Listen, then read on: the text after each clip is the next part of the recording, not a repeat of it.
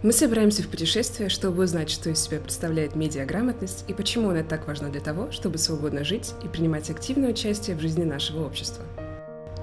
Это Джек. Как и другие дети, которые растут сегодня в Европе, он неплохой знаток современных технологий и свободно обращается с Фейсбуком, Твиттером и Скайпом и помогает в этом всем членам семьи. Как будто управляя лодкой через океан, он усвоил технические навыки и теперь может быстро приспосабливаться к постоянно меняющейся среде. Посреди океана существует красивый остров возможностей и свободы, счастливые жители которого открыто пользуются всеми ресурсами медиа.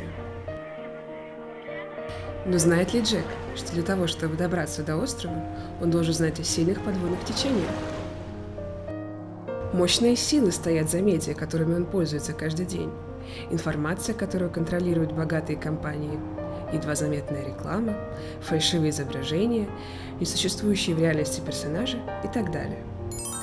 К счастью, Люкс, символ Яви, здесь, чтобы помочь Джеку узнать больше об этих силах, а также понять, что можно доверять лишь некоторым источникам медиа. Все это – знания, которые позволят ему делать правильный выбор, принимать обдуманные решения и общаться с другими. Это путешествие изменит Джека и позволит ему умело пользоваться возможностями медиа. Во-первых, чтобы добраться до этого волшебного острова, необходимо обладать техническими навыками. Это и есть лодка, которая будет перевозить его во время путешествия. Как мы знаем, Джек – неплохой знаток своего дела и быстро построит себе лодку. Люкс показывает ему, что есть дети в других странах мира, у которых нет доступа к компьютеру или к интернету. У них просто нет возможности получить базовые технические навыки. Но лодки сделаны для того, чтобы на них плавать. Джек готов к приключениям. От винта! Наш герой спрашивает у Джека, интересовался ли он когда-нибудь, что находится под поверхностью воды. Несмотря на то, что большинство подводных существ безобидны, объясняет Люкс, существуют такие, с которыми нужно быть осторожнее.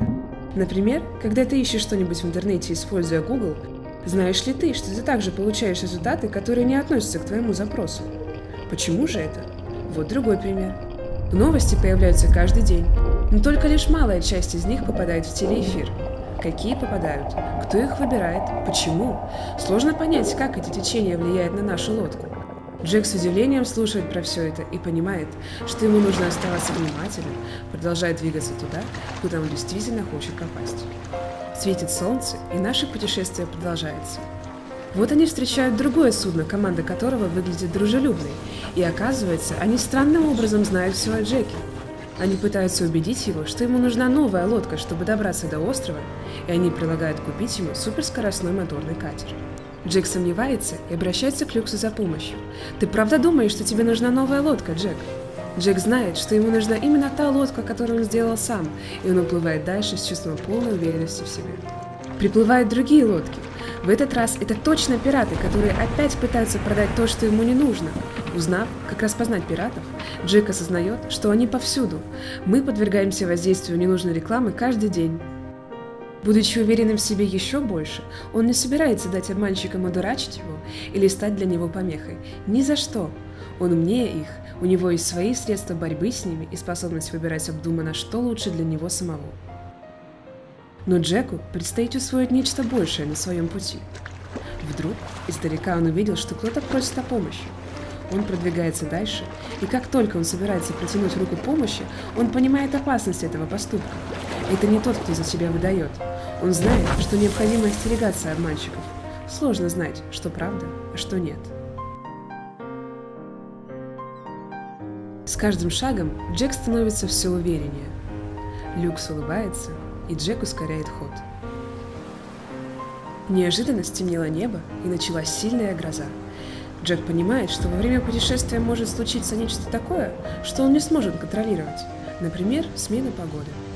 Эти внешние факторы, очевидно, влияют на курс путешествия.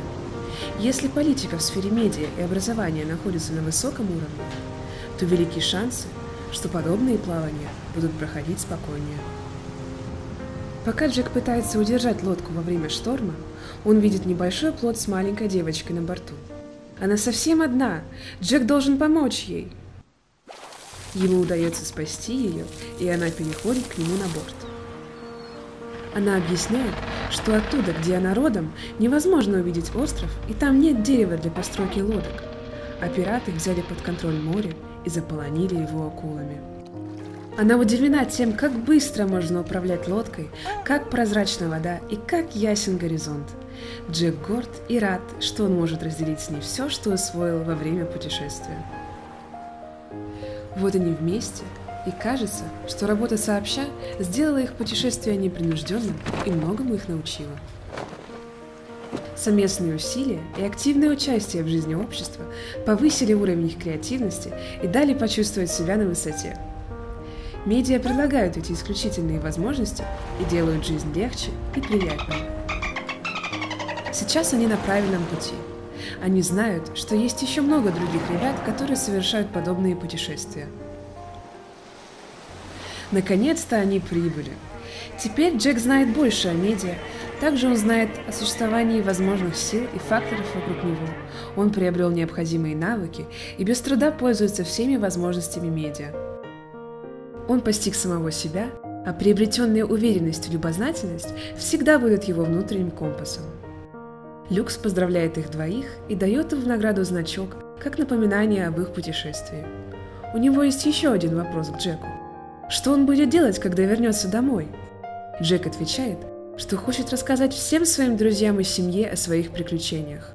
Он хочет поделиться опытом с каждым и, конечно, хочет спланировать свое следующее приключение.